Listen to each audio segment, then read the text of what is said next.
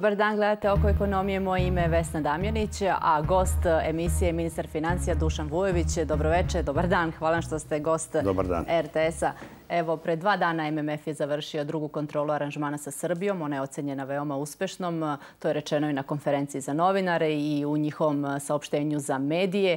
Premijer je rekao da je aranžman sa MMF-om za njega diplomski ispit. Za vas, šta je aranžman sa MMF-om? Pa ja bih rekao da je diplomski bio prošle godine kad smo uh, potpisali sporazum, definisali, potpisali sporazum, ovo je već magistarski ako, ako želimo da, da tu paralelu povučemo do kraja. Znači prva godina koja je uvek i najteža uh, je uspešno provedena. Mi smo početkom septembra prošle godine definisali program. Ako se sećate, premijer je oko 20. septembra objavio ključne elemente programa. Mi smo početkom oktobra u Vašingtonu to sve dogovorili, dodali sve ključne nedostajuće elemente programa i praktično u novembru 20 novembra ovdje imali prvi sporazum. Čekali smo mjesec, dva da se to na savjetu direktora odobri, ali su elementi programa ostali takvi kakvi su inicijalno dogovoreni. Znači, magistarski ispit i sada ono što građane zanima iz tog magistarskog ispita jeste šta će biti sa primanjima, odnosno platama u javnom sektoru i penzijama. Kako smo čuli, povećanja bi moglo da bude. Ako posmatramo kao vest onda da je to čaša polupuna, bit će povećanja plata i penzija, ali ako je poluprazna, onda će biti tek od januara. Kako je vi posmatrate? Posmatrate? Pa prvo posmatram, prvo i osnovno, godinu dana kasnije mi razgovaramo o tome da su postignuti jako dobri rezultati. Ne samo na fiskalnoj sferi, nego na čitavom nizu e, e, elemenata programa gdje smo definisali programe, programe restrukturiranja, strateške preorientacije, programe akcione, programe dejstva u narednom periodu. To je stvara sada prostor da se ono od najtežih mera od kojih smo morali da pođemo sada preispita, da definišemo, da vidimo da imamo prostor u takozvanom strukturnom e, bilansu i da u tom prostoru e, uradimo korekciju plata i penzija koji bi bila nagrada za sve ljude koji su prošli sa nama kroz ovu godinu. Oni su ti nosioci, bez njih ništa ne može. Kolika bi ta korekcija bila? Kakva je, ka, kakva je sad računica na, na vašem stolu u Ministarstvu financija? Pa kao što je već pomenuto, znači na osnovu naših analiza premijer je već najavio da obzirom na to da su prošle godine bili pošteđeni smanjenja plata i penzija posebno uh, oko milioni sto, milioni dvesta ljudi, znači oko milioni sto penzionera i oko sto hiljada ljudi u javnom sektoru, ostali u privrednom sektoru nisu to ni osjetili naravno.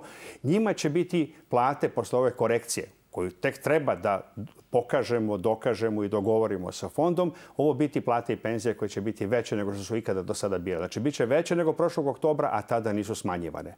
Ostalima, otprilike sve zajedno oko 2 miliona ljudi, znači preostalih tih 700-800 hiljada, će biti jedno blago povećanje nominalno, ali značajno zbog toga što je inflacija kod nas svega oko 1%. Znači od tih rezultata o kojima govorimo, oko preokretanja prirodnog rasta sa negativnog 0,5 pada na pozitivan 0,5 rast, što je jako važno i to preokreće liniju rasta, mi ćemo iskoristiti ovu priliku da izvršimo tu korekciju, kažem tako, da svi osjete to kao poboljšanje i kao priznanje, ali da ne dovedemo u pitanje putanju rasta i ozdravljenja prirode Srbije u 2016. i 2017. godini. Hoće li to povećanje biti linearno ili kako ste jednom izjavili da će se e, dosta voditi računa koje, koje profesije, da će biti ciljano, da će se tačno znati za koliko ko može da dobije povećanje? Pa Mi, vi znate da smo mi u reforme ušli duboko svesni toga da nisu svi u ravnopravnom položaju. Neki ljudi, neki sektori, pogotovo sektor obrazovanja, pogotovo delovi sektora, sektora zdravstva i tako dalje, imali su niže plate nego drugi sektori zato što su u prethodnim godinama oni lošije prošli u toj indeksaciji, korigovanju plata, eh, korigovanju svih beneficija. Ministarstva su se razišla, svako imalo svoje koeficijente, svako je u svojim sektorima imalo svoju osnovicu i svako se širio prema guberu. Oni koji su najlošije prošli u tim prethodnim povećanjima e, će, nadam se, proći bolje sada. Znači, naš je cilj da ciljano njima povećamo više, da bi se taj jaz između njih i onih koji su imali veće plate smanjio. A je li imate u vidu neko ko bi mogao da bude izuzet od toga povećanja, a u javnom sektoru, odnosno imao i smanjenje plata u pre godinu Pa mi već sada preliminarno govorimo, kažem, ponavljam, mi sada definišemo prostor, pa onda definišemo program, pa onda u tom programu pregovaramo sa fondom i očekujemo da ćemo tokom naredne misije koja se planira negde za prve dane novembra imati odluku koja će biti potvrđena na savjetu direktora u decembru po toj normalnoj dinamici nekoj. Što znači ja mislim... da bi to stupilo na snagu od januara? E, sa budžetom to odluka će biti doneta u ovoj godini, a stupanje na snagu za penzije odmah, prvo što sa penzije nemaju kašnjenja kod plata, kao što znate, plate za tekući mesec se isplaćuju tek u narednom mesecu. Prema tome, Odluka je jedno, onda kada se to obračuna kao povećanje je drugo, a kada se isplati to je treće. Znači vi možete donese s prošle godine kad smo doneli odluku o smanjenju ili korekciji plata, vi smo odluku doneli u oktobru, pa je ona bila primenjena u novembru, a u stvari novembarska plata je tek plaćena u decembru, odnosno januaru. I sada, pre nego što je došao MMF u drugu kontrolu... Samo da kažem, da oni koji će biti izuzeti, naš je cilj da mi u takozvanoj e, javnoj upravi ovaj put odustanemo od povećanja, da mi budemo ti koji će pokazati da solidarno žele najviše da podnesu teret ovih reformi. Pa to je, mi ćemo se truditi da javna uprava, to je neki 27-28 hiljada ljudi, ne bude, e, odnosno nema ovaj put povećanje plata. Dobro, a sad pre nego što je MMF došao u ovu drugu kontrolu, stekao se utisak u javnosti sudeći prema izjavama iz vlade da bi već sada mogla da bude doneta odluka o povećanju plata i penzija. I zanima me posebno zato što je deficit manji nego što je planirano jer su uštede 70 milijardi dinara. I sada zanima me koji je to argument nedostaje o vama kojim, kojim ste mogli da ubedite, odnosno da predočite član, članovima MMF-a da sada se donese odluka o povećanju? Kao što vidite, to je složen proces. Znači, takozvana odluka da ćemo tražiti povećanje plata i penzija je donet. Odluka da ćemo tražiti. Proces da se to ostvari ide najmanje u tri koraka. Prvi korak je da definišemo prostor da to možemo da uradimo. Znači da definišemo fiskalni prostor u strukturnom delu, da ovim povećanjem ne dovedemo u pitanje održivost deficita, odnosno smanjenje učešća duga u društvenom proizvodu u narednim, u narednim godinama, znači za naredne dve godine najmanje. Znači, drugim rečima, mi želimo, rešili smo da ćemo to da tražimo, rešili smo da je pravedno da ljudi budu kompenzirani za to što su podneli trošak ovih reformi, ali ne želimo to da uradimo po cenu da dovedemo u pitanje te reforme. Prema tome, odluka da ćemo to tražiti je doneta. Odluka da se nađe fiskalni prostor se sada realizuje, a odluka da se u okviru tog prostora donesu konkretna rešenja o povećanju e, penzija i plata će biti doneta kad to dogovorimo, a to će biti e, tokom naredne misije fonda. Kada kažete fiskalni prostor, samo da prevedemo, pojednostavimo, dakle, da li ima novca u budžetu dovoljno da ne bi se ugrozilo funkcionisanje i finansiranje državne kase? Ja ne bih želeo za naše gledalce da komplikujemo stvari, ali postoje takozvani strukturni elementi budžeta i takozvani tekući elementi budžeta. Mi u strukturnim elementima budžeta otvaramo postepeno taj prostor. Tekući budžet, tekući deficit, imamo mnogo bolje rezultate nego što za sada imamo rezultate u strukturnom. U strukturnom to su vam trajni izvori prihoda i trajne obaveze. Mi ćemo taj prostor povećati time što godinu dana e, mesec za mesecom ostvarujemo bolje prihode, pa se onda priznaje veći nivo prihoda, veći nivo efikasnosti u naplati PDV-a, akciza i svega ostaloga. Mi imamo izveštaj Poreske uprave da je u avgustu ove godine ostvaren rekordni rekordni e, iznos poreskih, svih poreskih prihoda. Prema tome, to doprinosi tom stabilizovanju prihodne strane. Onda imate rashodnu stranu gdje mi pokušavamo, po znakom što bi narod rekao, da zakucamo niže rashode, uštede na materijalnim troškom i svemu ostalome. Imate treći element rashoda strukturne prirode, a to vam je trošak duga, visina i, samim, i poslije toga i trošak duga. Mi želimo da ovim smanjenjem deficita, da se smanji nivo duga i da se samim tim smanje plaćanja za kamate i želimo da aktiv aktivnim e, upravljanjem javnim dugom i dobijanjem jeftinijih izvora koji očekujemo u narednim mesecima da dobijemo, da smanjimo troškove kamata i samim tim otvorimo prostor. Kad se taj prostor definiše na strani prihoda, onda možemo pažljivo na strani rashoda da povećamo one elemente koji su najvažniji za stanovništvo, a to su penzije i plate, koje čine 900 milijardi od 1100-1200 ukupnih rashoda. Znači, to su vam tri četvrtine rashoda.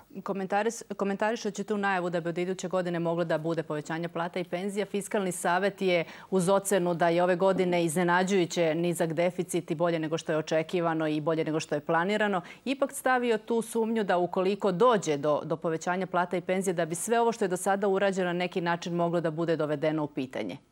Pa ja sam upravo rekao, naš je cilj da to povećamo i da dovedemo. To je kao uh, let e, Ikarusa, razumete. Ne sme da bude ni preblizo suncu, da se vosak ne bi stopio i da krila ne bi uh, se uh, raspalo param parčad. Ne sme ni preblizo moru, da ga visoki talasi ne bi oborili. Prema tome, mi želimo, prošle godine smo, oni su govorili 15% penzija i 20% plata, a mi smo rekli 10% plate i 6%, i 6% penzije otprilike i vidite da smo bili u pravu. Mi to realizujemo onako kao što smo obećali poboljšali i sad želimo i to da poboljšamo. Jer to znači da sad u naredna dva meseca praktično imate vreme da procenite kolika je to visina na kojoj može da se leti. To. Znači, mi, mi obećavamo da ćemo se truditi, obećavamo da je to, čini mi se, primjereno, nagrada za stanovništvo, ali također obećavamo da ćemo ostati obazrivi do posljednjeg časa i radit ćemo to na način koji je održiv, na način koji je odgovoran, na način koji će i fonda verifikuje, ne samo fond, nego analitičari u fondu, ne samo misija, nego analitičari u fondu i savjet direktora koji predstavlja celu,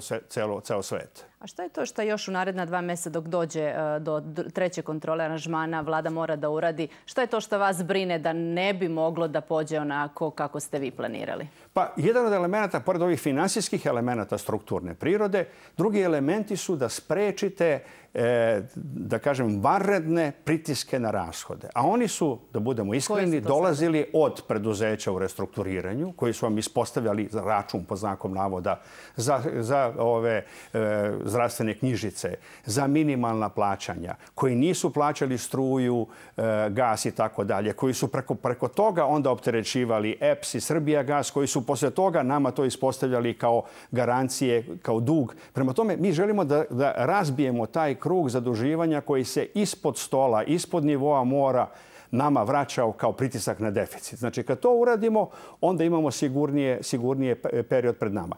Šta to praktično znači? To praktično znači da posle osam meseci donošenja strategija, planova i svega ostaloga, sada zagrizemo u tvrdo i da sprovedemo te reforme. Imamo nekih 17, odnosno stvarno 13 velikih preduzeća gde treba završiti privatizaciju, završiti taj proces koji dugo traje. Mi smo im dali dopunski rok do kraja ove godine sa mogućnošću da se predlije u sljedeću godinu.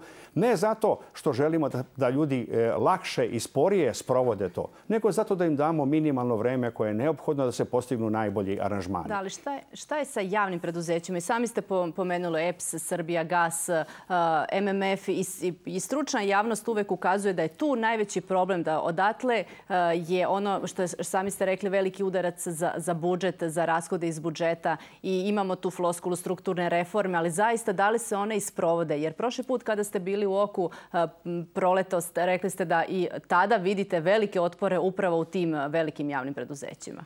Pa, vi jako dobro znate da EPS, Srbija, Gas i ostale javne predužeta, železnice, putevi Srbije i tako dalje, upravljaju ogromnim resursima Srbije. Znači, oni pružaju izvaredno važne usluge u snabdevanju električnom energijom, u snabdevanju gasom, u pružanju, zatvaranju građanju infrastrukture i pružanju ključnih usluga bez kojih privreda ne može da funkcioniše. Ali je također jako važno po kojoj ceni oni to rade. Znači, cilj je... I koliko je efikasno. I koliko je efikasno. Efikasnost je ovdje znači pitanje kako oni, kako, koliko efikasno koriste resurse i da li rade ono što treba da se radi. Znači, cilj je da se projekti realizuju. Cilj je, recimo, u EPS-u bio na proizvodnoj strani da se proizvodnja uglja i proizvodnja električne energije koja je prošle godine drastično pala u julu mesecu, vrati na prethodni nivo. Samim tim se povećava društveni proizvod, samim tim se povećaju prihodi, fiskalni da, prihodi. Ali cilj je konkretno u EPS-u bio i da se reorganizuje, da imaju Upravo manje to. direktora. Da li je to došlo konačno odluke dnevni donete, red i uštede? Odluke su donete i mi i strategija je doneta. Na prošloj reviziji mi smo početkom juna doneli strategiju finansijskog restrukturiranja EPS-a i sada se nalazimo u najtežoj fazi tog programa, a to je da se ti efekti osete. Znači, nominalno e, rešene, doneto je rešenje ili odluka da se pređe sa, sa teritorijalnog načina organizacije, gde je svaka teritorija, opština ili grupa opština imala imala jedinicu EPS-a sa svojim menadžmentom, automobilima, troškovima i ostalo, se pređe na funkcionalnu organizaciju EPS-a gde je generacija električne energije jedan deo, termo i hidro, a distribucija drugi deo. I da se na taj način smanji, smanji trošak menadžmenta, da se poveća efikasnost menadžmenta, da se smanje troškovi u funkcionisanju, da se napravi bolji rezultat, a da građani ne osete toliki trošak EPS-a. A jeste se izborili umeđu vremenu sa otporima u javnim preduzećima? E sad ovako, svako želi da zaštiti svoj interes. Znači, ovde ja moram da kažem da su otpori dosta veliki. Prema tome, onog momenta kad smo krenuli ove reforme, svi sindikati su se trudili da tako svoje kolektivne ugovore prilagode, da što manje bude efekat smanjenja plata e, u njihovom sektoru, u njihovom konkretnom javnom preduzeću. Deo tih njihovih nastojanja je opravdan, ali isto tako ja očekujem da ćemo u narednom periodu realizacijom već donetih programa ostvariti to smanjenje. Inače, u tim preduzećima jedan od kriterijuma je da li mogu da, da pri cenama koje postoje ostvaruju dobit, a drugi kriterijum je da li možemo da privučemo strane investitore. Oni neće doći da doinvestiraju u EPS, da doinvestiraju druga javna preduzeća ukoliko ne budu imali garancije, a one su samo na osnovu realnih parametara, da će to biti uspešno i profitabilna investicija. Da, koliko je MMF imao razumevanja za taj argument da neke reforme nisu urađene zbog otpora u javnim preduzećima? Pa MMF je eksplicitno rekao da oni znaju da smo mi prošle godine krenuli na veoma realističan, ali dosta težak, e, realizaciju dosta teškog programa. Jer realizovati strukturne mere nije lako. Lako je, eh, relativno je lako definisati puno polje problema koje rešavate, ali je mnogo teže definisati i vremenski precizno realizovati program, zato što to zahteva i merenje određenih stvari i takozvane funkcionalne analize, da vidite gdje se nalaze viškovi, gdje se nalaze mogućnosti smanjenja troškova i primjenu međunarodnih standarda. I mi sve te stvari radimo u sadejstvu sa Svetskom bankom i Evropskom bankom. Oni daju posebne kredite, gdje nisu samo pare bitne, nego je tehnička pomoć bitna da se ustanovi gde imamo višak menadžmenta, gde možemo da smanjimo troškove, gde može da se podigne efikasnost i privuku partneri. To vam je najbolji način. Prema tome, to zahteva vreme. Teško. E sad, kako fond na to gleda? Kaže ovako, mi smo definisali program i rekli smo do juna ćemo, mi smo rekli do marta ćemo doneti neke stvari, pa do juna neke druge, pa ćemo već primeniti u septembru. Mi smo, delom iz objektivnih, delom iz subjektivnih razloga, to gurnuli malo dalje. Inače, kasnimo nekako između 3 i 6 meseci u nekim stvarima. Je to prihvatljivo za, kao argument za, Ar, za Fond to prihvata, ali, ali fondova logika ali je sljedeća.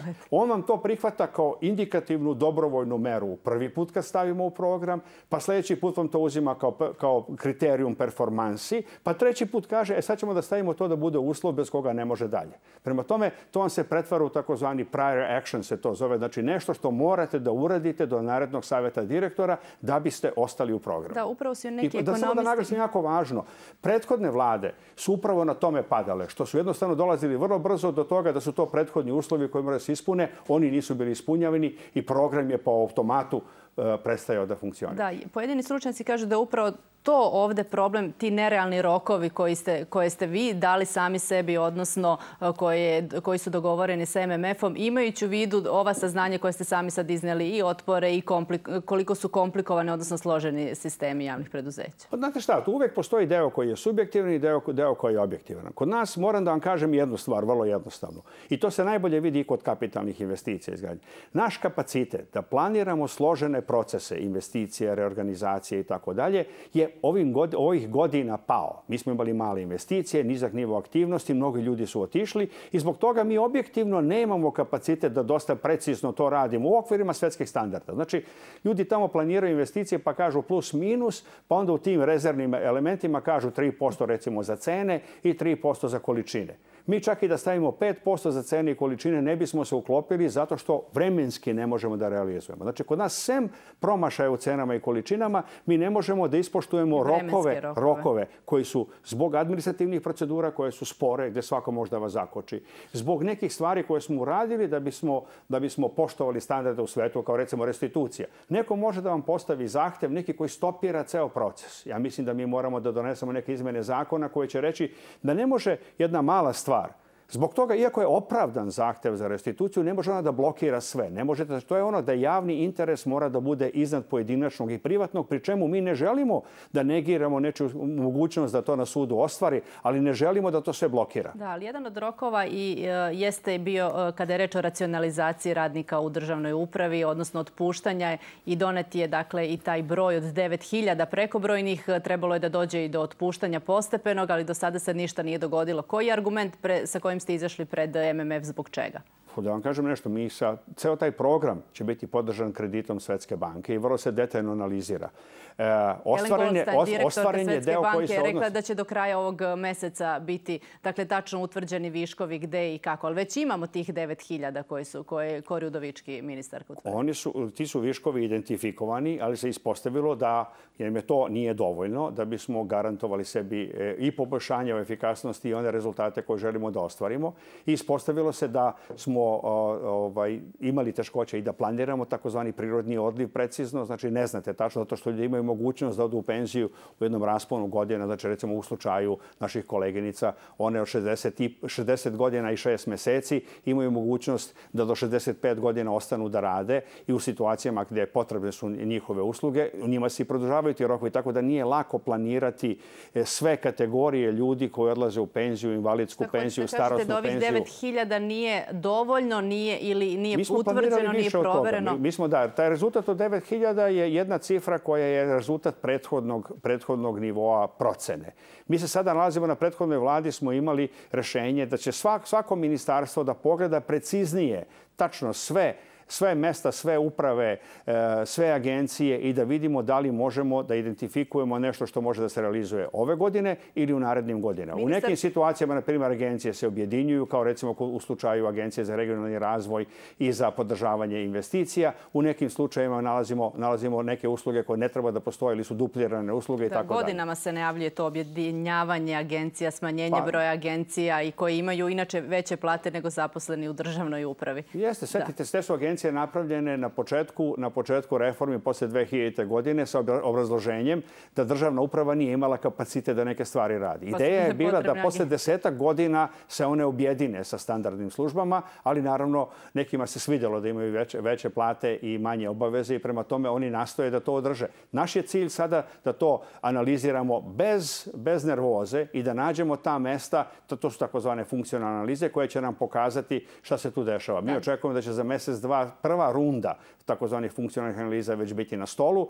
Znači, ove godine, prve godine racionalizacije, mi ćemo identifikovati očigledna mesta gdje mogu da se ostvare rezultati, a u narednim godinama moramo da idemo i na reorganizaciju, i na prazak na takozvanu i državu, i na delegiranje Jer svake godine morate niza. da smanjite po dogovoru s MMF-om za 5 od 100 izdvajanja za Mi imamo za, dogovor za sa fondom, ali ja to ne bih gledao. Znate, mi nekoliko puta se vraćamo na tu temu. Nije cilj smanjenje.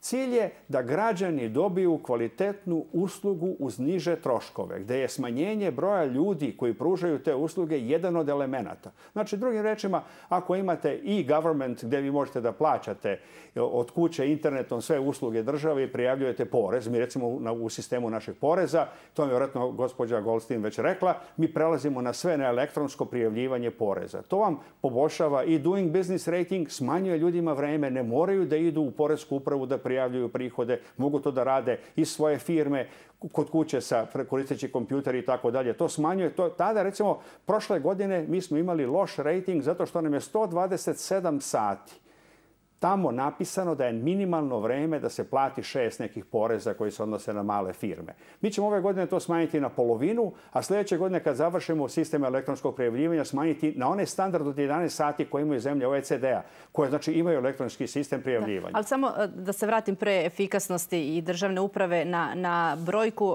E, Kori Udovički je u danu kada ste imali konferenciju za, zajedničku konferenciju za novinare sa delegacijom MMF-a izjavila da je praktično će ove godine višak biti 30.000 hiljada zaposlenih, a da je polovina od toga već, odnosno, bit će penzionisana. Dakle, da li je ta da li je preliminarna analiza, funkcionalna analiza u stvari vodi ka broj broju od 15.000? Ja sam ministar financije. Za mene najvažnije da ostvarujemo e, povećanje efikasnosti, to je da se onaj planirani fond plata u, u javnom sektoru ne probije. To je najvažnije. Mi to ostvarujemo u prvim koracima tako što radimo ono što su očigledna racionalizacije, a u narednim godinima radimo ono što je rezultat efikasnije organizacije države i na lokalnom nivou i na nivou cele, cele Republike Srbije. Prema tome, mi imamo jedan plan koji kombinuje kratkoročne mere sa dugoročnim merama. Procenti su tu ciljne veličine. Koliko će biti prirodnog odliva?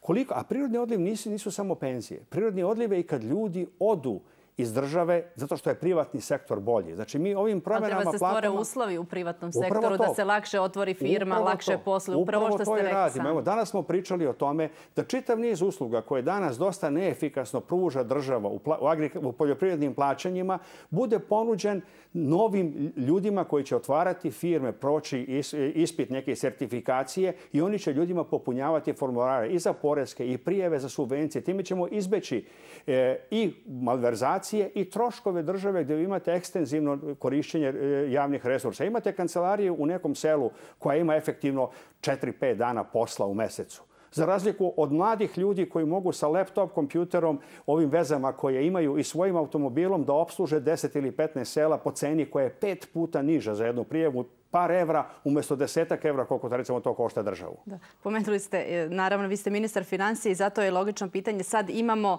deficit, 3,5 je procena će biti ove godine, trebalo je da bude, odnosno prve prognoze. Prva plan je bio 5,9 dakle to smanjenje od početka kada govorite da, da je deficit znatno manje nego što je planirano, jedno pitanje je bilo da li je to trend. I sad, da li je ovo zaista trend, dakle da mere koje ste doneli daju rezultate ili će ipak biti dakle, nekih pomeranja. Sami ste napomenuli te strahove, posebno od javnih preduzeća pritisak. Pa prvo i osnovno mi smo u zakonu o budžetu za ovu godinu sprečili glavni kanal kojim su se e, pritisak javnih preduzeća vršio na javni sektor. To ne znači da će on nestati, ali ga mi ne dozvoljamo. Znači država više ne daje garancije za kratkoročnu likvidnost javnim preduzećima koje se posle pretvaraju u plaćanje. Znači to je prvi kanal koji je zatvoren. Drugo, treba stalno da razlikujemo takozvani deficit centralne države, republički deficit, koji je na kraju augusta bio oko 30 milijardi, da ne zaokružujemo da ljudi lakše zapamte, 30 milijardi za 8 meseci društveni proizvod je lina linearno oko 3000 milijardi. 30 milijardi je 1%. Znači, deficit republičkog budžeta posle 8 meseci je 1%. Svi mi znamo da je u posljednjim mesecima godine su povećani rashodi i samim tim prihodi su konstanti i samim tim je deficit veći, ali ja mislim da će se ovaj e, e, deficit centralne države održati na tom trendu i da će biti da će biti značajno niži nego što smo planirali. A šta ukoliko, e, evo, e, šta ukoliko se raspišu izbori? Premijer je rekao do kraja septembra da će biti doneta odluka o raspisivanju vanrednih parlamentarnih izbora. Koliko bi to ugrozilo ove trendove kojima smo sada razgovarali?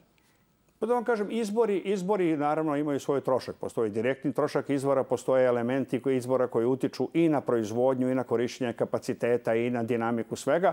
Ali također postoje elementi izbora koji su trošenja, koji podižu, samo malo se menja struktura potrošnja, ali recimo i plakati koštaju.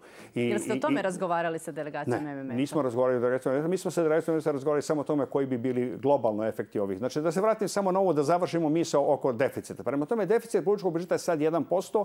Ja očekujem da on neće biti veći od 3, 3,5%, a sve zajedno, opšte države oko tih, oko tih 3,5-4%, mi ne želimo sebi u ovoj fazi da stavimo previše ambiciozan cilj, zato što možda se dogodi da na kraju godine možemo da imamo neke troškove koje smo želeli da, jednokratne troškove koje smo želeli da platimo. Princip je da jednokratnim prihodima možemo da platimo jednokratne troškove bez posljedica na godine koje, za nas, koje su ispred nas. A ono što je ušteđeno ići će na otplatu kredita ili na investicije? Šta, šta ono što je ušteđeno, pre svega, pazite, pošto mi smanjujemo deficit, ako je ušteđeno 700 miliona, što mislim da će biti održano do kraja godine, znači to je tih 600 miliona evra, najmanje 700, 700, izvinite, 70, 770 milijardi, što je oko 600 miliona evra.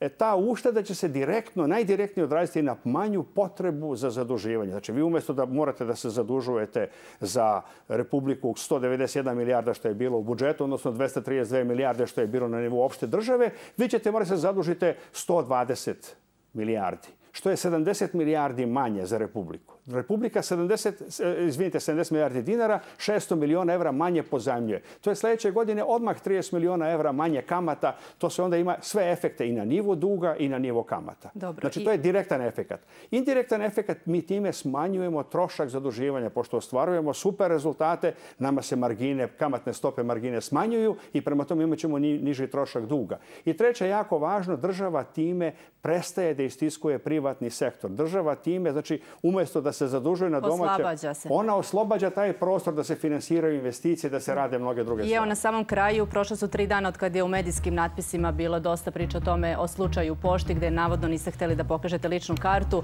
Sem saopštenja vašeg ministarstva, ili imate vi da date komentar u vezi sa tim? E, da sam me pitali pre dva dana, ja bih bio, ja bih bio verovatno motivisan da vam kažem da e, dosta toga nije tačno. Da sam pokazao ličnu kartu, ali to posle svega onoga što je napisano postaje potpuno nevažno. Ono što je važno, to je da smo iz ovoga svi izgleda nešto naučili, a to je da naš narod brzo reaguje i još brže e, sve stvari posmatra sa distancom. Tako da mi je u stvari drago što se to preokrenulo u određeno, e, da kažem, e, jedan predstavljanje toga sa određenim nivom distance i šale.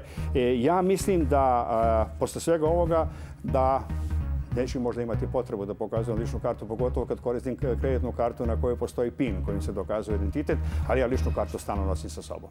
Hvala na gostovanju na RTS-u. Poštovani gledalci, vama hvala što ste bili sa nama. Ostanite dalje uz vaše RTS-a. Ja vam želim prijatno večer ime ekipe Oka.